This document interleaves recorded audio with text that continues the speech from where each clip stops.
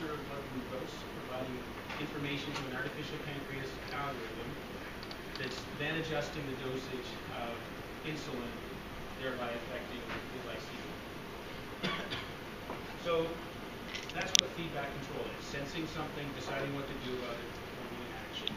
Why would we want to do that? So this is lesson one, or uh, point number one. Is that the, the purpose of control is to transfer variability or variation from a place where it hurts to a place where it doesn't hurt as much in order to make a human's job easier. So if you think about your car's cruise control, you're driving down the interstate, there's not a lot of cars around, uh, you don't want to be uh, busy focusing on that task of managing your speed at 65 miles an hour. You would love to outsource that task to your cruise control. So you're transferring the variability from the place where it hurts. I don't want to get a ticket or go too fast or not arrive on time. Uh, I want to transfer that variability of speed to, I don't care if I use a little more or less gas uh, same thing with your thermostat. I don't have to be throwing logs on the fire or opening the window to adjust the temperature in the house. I just want it at 70 degrees all the time. Uh, let, let the automation do that. Same with control systems and autopilots. And ultimately with the, auto, uh, the artificial pancreas. We don't want to have to be worrying about managing our own glycemia and all of that variability. Let the computer take care of that. If you look back to, well, first of all, somebody uh, who doesn't have diabetes the wonderful endocrine system is already doing that for them. So it's already transferring all of this variability in glucose. Oh, I apologize, this is for Canadians, so this is in milligrams, not uh, multiply that.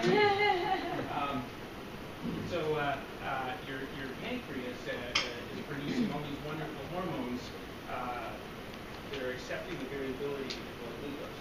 If you look back to the isolation of insulin in the early 1920s by Banting and Best, and how we progressed in diabetes therapy in the intervening 90 years, where it used to be you'd get slow-acting insulin once a day. And if you think about it just from a very pragmatic perspective, you can't transfer that much variability you only have one chance a day to do it, and it's a very slow insulin. And as we've introduced uh, progressions in diabetes therapy, multiple daily uh, injections, and sensor-augmented pumps, and rapid-acting insulins, we're getting closer and closer to the goal of transferring that maximum amount of variability from the place where it hurts to the place where it doesn't as much. And that's really what the premise of the closed-loop artificial pancreas is. You know, subject to some constraints I'm going to talk about in a minute, how can we as closely as possible mimic uh, the performance of our, our wonderful natural energy So is, that's why we want to do it, why aren't we done yet? What are the things we're focusing on? I'm going to touch on six areas, and then I'm going to go show you what we're doing in those particular areas. So the first challenge or focus area is that there's many sources of variability. We've already heard about this this morning. Uh, how come you're not looking at the context? There's all this other important context information about whether I'm stressed, whether I've exercised, uh, where I am right now, uh, that are all affecting my glycemia. And this is a huge challenge for control engineers because we're not measuring those variables by and large right now. We can only measure a post facto in the in blood glucose values. So this is uh, one of the first focus areas is how do we evaluate uh, different sensors that might be available that can really help us with something called feed forward control, where we're taking those disturbances and using them in a proactive sense rather than waiting reactively with a feedback control system. But then we also have to balance the cost and the additional burden of maybe having all of these uh, additional sensors strapped to your body. So there's trade-offs involved, and there's going to be trade-offs involved in everything that I talk about. The next, uh, the next uh, focus area is there actually is a fundamental limitation on how much variability you can transfer. If you think back to your car and with cruise control, you know, it, it can do a pretty good job of of uh, maintaining your speed at whatever you set it to, 65 miles an hour. Uh, the reason for that is that there isn't a lot of delay in between the time when you press on the gas pedal and the time when you start to see the sensor change.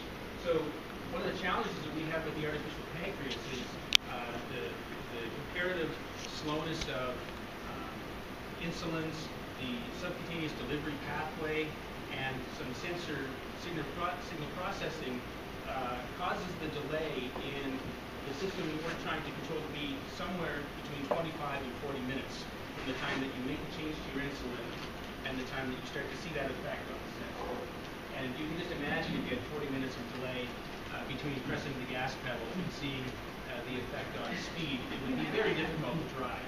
Call a Volkswagen Bug. Yeah.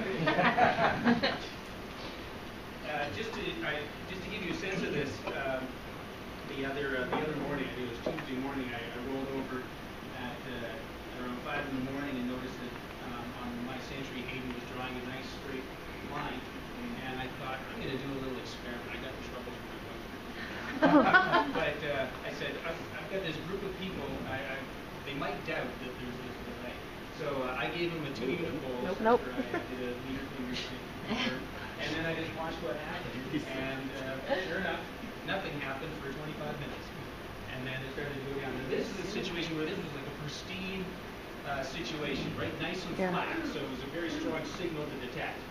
You can imagine how much more difficult that would be to detect if it's doing the normal rock and roll. Uh, a third focus area is the automation objective. Uh, it, another way of looking at this is which of this variability in glycemia is the most important to transfer to the manipulated variable. And it was somewhat of a surprise to me being fairly new to this uh, community that there isn't a consensus in the industry about the relative importance of, uh, variability transfer. So uh, all sorts of different metrics are proposed.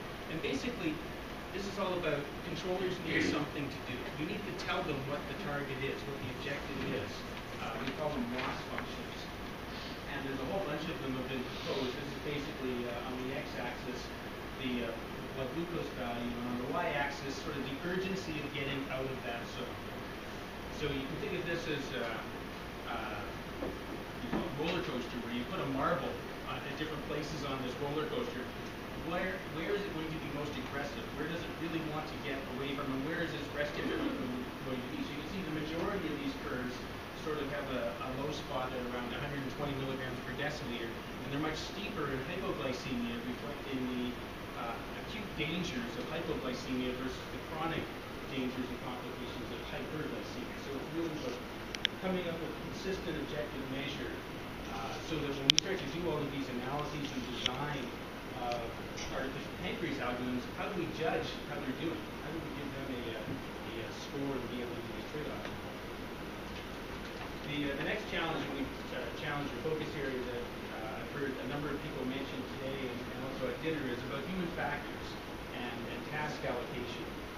Uh, by some estimates, there's some, somewhere north of a thousand, uh, somewhere around a thousand tasks required to successfully manage type 1 diabetes.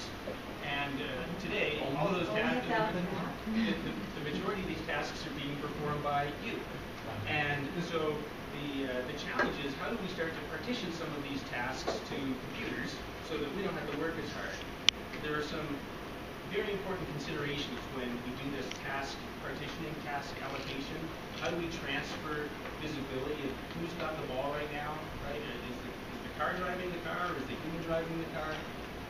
So we have these same kind of questions to ask. Unfortunately, there's a great deal of insight from other domains which are further along in the automation journey. You know, cockpits and oil refineries, uh, even driver support uh, in, in automobiles, where we can learn from the hard-won lessons in those domains. Because last I checked, there were humans involved in those things too, right? Monkeys and dogs were um, flying airplanes, humans were, and the humans are, are the same the humans we're dealing with. And it's really about making sure that we give the humans tasks that they're good at and the computers tasks that